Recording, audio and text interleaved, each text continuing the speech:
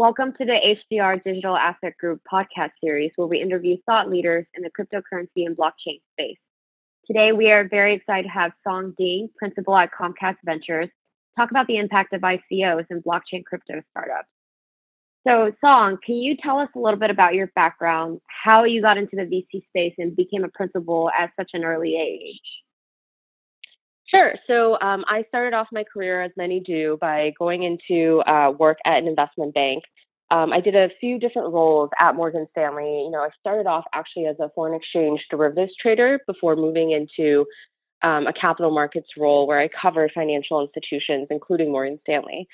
Um, you know, those three years that I spent at Morgan Stanley were very formative, but it also helped me realize that you know, I wanted to do a job that was more strategic and allowed me to kind of engage more directly with, um, you know, various stakeholders in a more meaningful, operationally intensive way. And so from that, I ended up uh, moving out to the West Coast and um, finding a really exciting role at Yahoo on the corporate development team.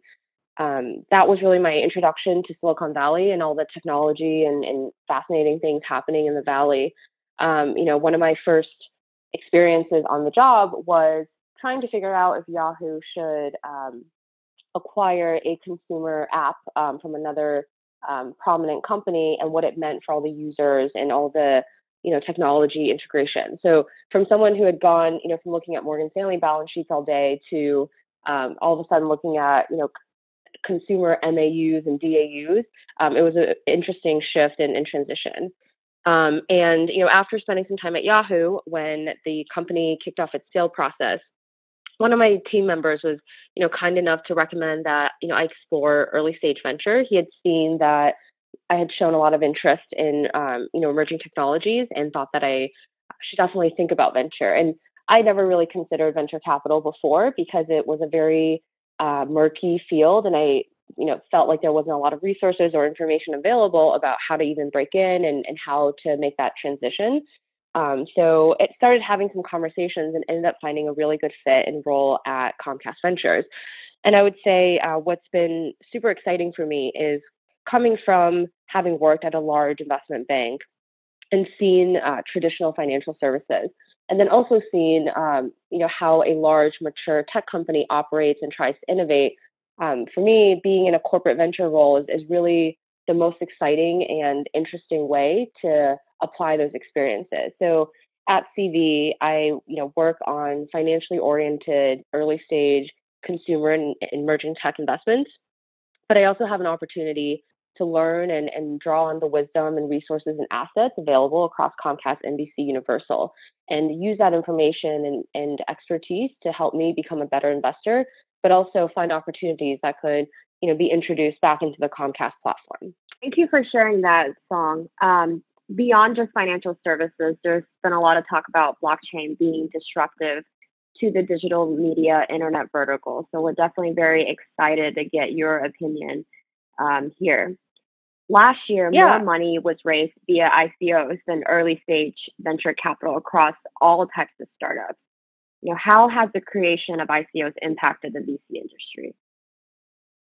Um, great question. I think we are still all figuring it out. Um, from a pure structural perspective, I think it's really challenged, um, you know, all of our investors as well as lawyers and, and, legal teams to have to roll up our sleeves and, and do a lot of, you know, reinvention of, you know, what does it look like in a fund mandate to all of a sudden have, you know, this new asset class with new um, new structures and, and new market dynamics. You know, it's a very different um, type of security, very different risk profile, liquidity profile. You know, something as simple as how do you mark to market, or are you actually holding, you know, liquid um, assets, or are you holding, um, you know, non-liquid assets?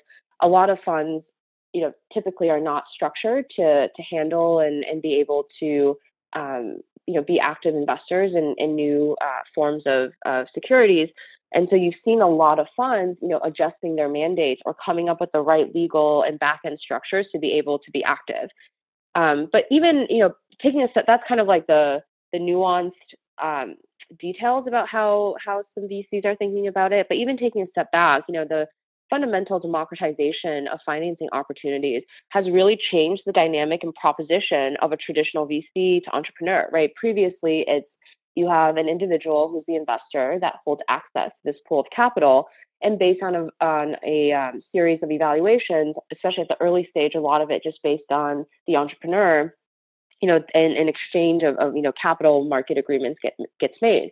Um, now that there's this you know opportunity for any entrepreneur, or any company to think about ICO as a route of financing, that really kind of changes the need and the value proposition of that you know historically traditional venture capitalist. Um, and so I would say too, like if you look at what Comcast Ventures has done, we've taken very much a crawl, walk, run strategy when it comes to learning about um, blockchain investments and, and, crypto investments. And so initially, we started off by partnering with a fund um, and making you know um, our I guess like crawl investment into a fund. Um, then you know we started as we kind of got up to speed and started learning about the space. We moved to walk, which was you know starting to think about selective investments in blockchain related technologies or startups that were incorporating blockchain technology into their business model. But ultimately, you know, once you move into the run category, you should be agile and nimble across all the various uh, liquidity stages of blockchain and crypto. And I think that's, you know, ultimately where we're headed. Um, and then I would say the last thing too is, you know, this is all still being fully fleshed out. I think, um, you know, everyone from traditional VCs to um, non-traditional investors, you know, even you see um, some startups themselves um, amending their own charter documents include a provision to be able to participate in ICOs. And so I think it totally does change that um, relationship between a traditional investor and a traditional, you know, entrepreneur, and makes um, everyone able to kind of participate in that process. And there's a lot to be said from a guidance and management operations perspective that VCs um, and growth equity firms could provide some of these you know, startups in the blockchain crypto space. So it'd be good down the line to see some type of partnership form as well. That would be something that would help them succeed down the line. Yeah, so like you know, we are um, we are really fortunate that one of our portfolio companies we've been super excited about um, YouNow um, ended up deciding to go the ICO route. And so it, it, was a fascinating experience because we got to see, you know, YouNow was a non-blockchain, non-crypto investment in the past, right? It was a um, just a standalone early stage, you know, media um, related uh, investment that we had. And then we kind of saw how for that type of company to think about potentially, you know, issuing um, what they call props and um, you know incorporating blockchain technology into their platform, you know how that evolution kind of took place. And then, you know, we were happy to, to support um, in any way we could as existing investors. And so I think that's what's really fascinating about what's happening right now is you have such a spectrum, you know, of different companies. And, you know, I see everyone from, um, let's, let me think of like a crazy example, you know, a esports company that's uh, integrating a blockchain component to, um, I just saw recently a, um, a uh, a company that wants to do direct to consumer um, soccer league video content, like a Netflix for sports. Um, that was that had like a, a, blockchain component to it as well. You know, all the way to um, you know more traditional um, you know enterprise applications as well. So um, you know, I think that's really exciting, and there's this really dynamic spectrum of companies doing interesting things in the space. The flip side to that, though, is the question I always ask entrepreneurs, and, and you know, a question that we always think about when we deliberate internally is, does this company need crypto, or is it you know the flavor of the week, right? And I think that um, will really be telling in terms of staying power and actual longevity of businesses. Are you tacking on, um, you know, a blockchain component just to kind of be the hot thing that's happening in the valley to get people's attention and, and to try to um, you know, spruce up a more traditional business model or monetization model? Or is your business fundamentally going to change and be accelerated and supercharged by the introduction of this new type of technology? So uh, that kind of leads to my next question. Which industries do you think will be the first to effectively adopt blockchain technology on a notable scale? Seen a lot of use cases in financial services, obviously, but mm-hmm. beyond just that, um, and I mentioned digital media internet earlier, but from what you've seen, um, where are most of these blockchain crypto companies drawing their attention to? Yeah, you know, I I would maybe um, my personal focus for the past year or so has been on looking at the media applications, and so you know, rewinding back, um, you know, even a year or two before um, things really got, you know, super crazy and mainstream, is I think my initial focus as a VC was not necessarily on I want to find a way to invest in media that has a blockchain angle. It was more that, you know, from very early on, I'd focus on this kind of pain point and problem of micro, pay- like making micro payments work um, and thinking about media distribution and rights management. And that, I think, that initial focus started without having to think about blockchain. You know, there's this issue of, you know, the bundling of content, right? Millennials and, and consumers don't necessarily want, you know, content bundles in the same ways that, you know, that traditionally worked. And is there a way for someone to transact on a micro basis, right? Whether that's you watch one video and therefore you pay X amount for that one video, um, or even you know like one song, right? Like think about what iTunes did for for music. So I was very focused on micropayments. I was looking at it from a journalist uh, journalism perspective, a video perspective. Then you have this other angle of creators and artists are not getting appropriately compensated, and there's no clear way to track uh, value addition to a very complex creation process and to ultimately attribute you know value that comes down the chain right? So you know some of the statistics around how much somebody who plays a meaningful role in creating a piece of content how they get compensated down the line is actually very very broken. And you have all these you know uh, middlemen and and people who come in and kind of disrupt that take you know value off the top. Um, so I was, I was looking at that. And then i was also looking um, as you know a third piece of it um, on reward systems as well. How do you uh, create an opportunity for um, a company like Comcast, right? Like if you watch a Universal Studios movie like Pacific Rim, and then you know later on you book a trip to Harry Potter World, and then you you know become a you upgrade your cable and internet service. Like those are all touch points that you're having with the Comcast NBCU platform, but currently there's no um, overall reward system to link all those pieces together.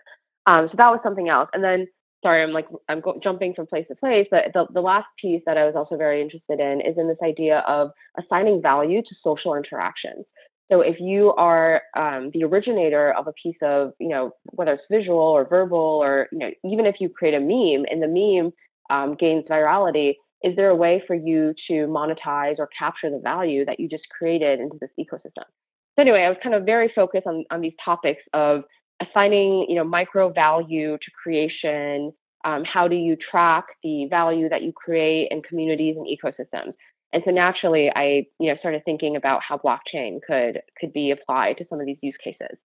Um, and so i think um, there are a lot of really fascinating entrepreneurs working in the space. It's media has you know not necessarily been as hot as like financial services um, when, when people talk about blockchain and crypto. Um, but what I think is super interesting is it's bringing really non-traditional entrepreneurs who've been, um, you know, artists or creators or in the media business to, you know, think about using blockchain as a way to, you know, disrupt and create a better solution for their respective industries.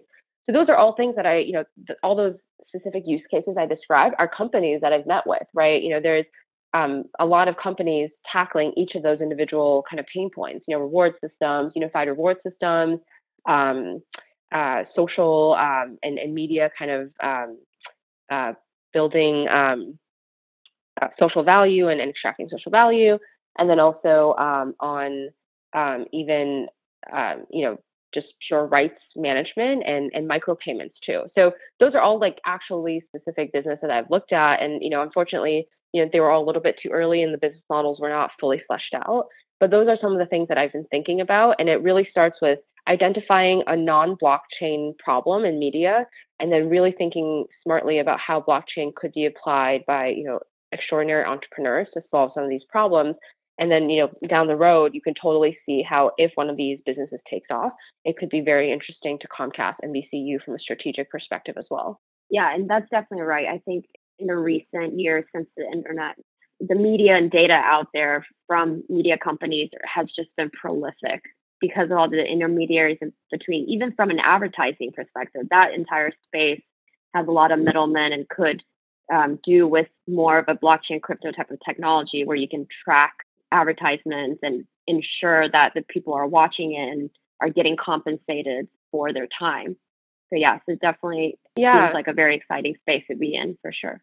Yeah, and like you know, one of the um, you know, I, I guess this company has now recently been um, exited, um, but it's it's really interesting to think about even how it impacted me in my daily role. So, um, 21, or I guess they changed the name to Earn, um, but I'm on Earn, and I still to this day get emails from entrepreneurs, and if I reply to those emails, I get a monetary value.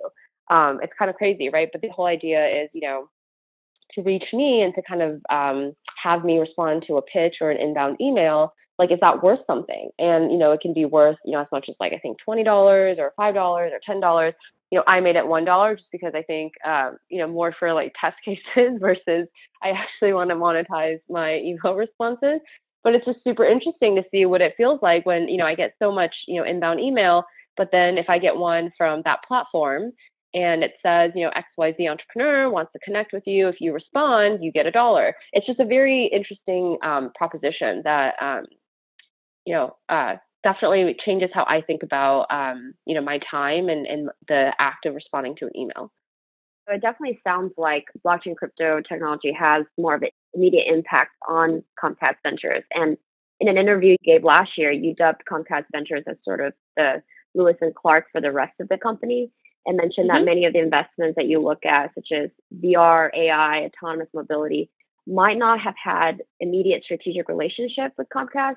So, kind of given that context, where does blockchain crypto companies fall on that spectrum? You've already mentioned some use cases of actual companies you've talked to.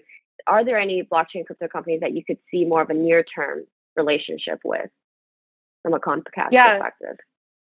Definitely, I think um, the rewards rewards application was something that we've been um, thinking about. But I, I, think even at a higher level, what's been super great is like you know a year and a half ago when, um, or even you know five years ago, right? Like when I was a foreign exchange trader, a lot of those guys are are people that ended up uh, becoming you know major thought leaders in the cryptocurrency space. Um, you know, it, it seemed like the tie between someone like a traditional corporate like Comcast and you know, this new type of technology was a little bit more distant. But now, you know, we've got an internal um, uh, working group with with engineers and and strategists from across the company who are thinking about applications for blockchain. And so that's like super exciting for me. And, and I would say that has been a similar um, playbook that's that's happened. You know, whether it's in VR, AR, or um, AI, where you know we might be seeing things first and, and connecting with entrepreneurs first just because of where we physically and also where we physically are located and also our mandate within the company. Um, but you know, in, in, a very short amount of time, very smart people who are experts in their respective fields at Comcast and NBCU have now, you know, kind of found each other and formed a coalition and are actively thinking and evaluating opportunities. And so now, if I were to, you know, if Comcast Ventures were to see a um, a blockchain related company that's doing something that's potentially relevant or interesting for NBCU as well, we've got this kind of full bench to diligence, to evaluate, to assess, and you know whether or not there are you know pilot or exploratory commercial opportunities. That's always you know to be determined and, and never guaranteed. But now we've kind of got both sides, and so um, you know I, I love the Lewis and Clark example, but I also kind of think of it as venture capital plus right? Like if you're an early stage company in the space, you can go and pitch, you know, traditional um, investors, and you know they can offer you advice, they could offer you a network, they could offer you some capital. Um, but if you're building something really exciting in the blockchain space, that might be um, an enterprise application, or it might be media application, you know, or even a security application. Like when you talk to Comcast Ventures now, you're not only talking to the investment arm and, and the, the um, that have been looking at the space and studying the space, but you're also potentially, you know, touching point with um, the leaders in cybersecurity at Comcast or, you know, the people that run the media distribution uh, and, and uh, kind of content uh, distribution folks, the advertising folks. And so um, it, it's a really deep bench and, and it's a really interesting kind of venture capital plus model the partnership ecosystem will definitely be important for some of these blockchain crypto companies to get their foot off the ground and really be able to scale and gain adoption. And so, given what we just discussed with related to blockchain crypto and sort of your focus on emerging technology, what do you predict will be some of the trends for the media entertainment industry or for the media industry down the line? If you could think about in 10 years, like what is music distribution going to look like? What is advertising going to look like? What would you say, given everything you know about some of these emerging technologies? Um, that's a great question. I would say my my instinct and my gut feeling is that um, consumers crave a direct connection to the source of their media and content, right? You see that happening in a lot of the UGC platforms like YouTube. Um, you see that happening with the success of Netflix, where um, the traditional value chain of media creation and distribution is being uh, condensed and um, you know like not to not to use this as a, like a ridiculous example, but you know, Taylor Swift just launched a music video on Spotify, and you know, Spotify is moving into video content, and the format of her video was very different than the traditional videos she releases. It was a vertical video, one shot taken, you know, as if she was um, kind of shooting off of her her own iPhone, and that was the first piece of video content, vertical video, like like uh, Snapchat, and one take that Spotify chose to push. And so you, you kind of see um, some of these distributors, right? And, and what is Spotify? Spotify is, is like the Netflix model, subscription, debundled, direct to um, direct to consumer, um, you know, media. And so I think you know you see some of these changes happening, and, and that to me instinctively makes sense.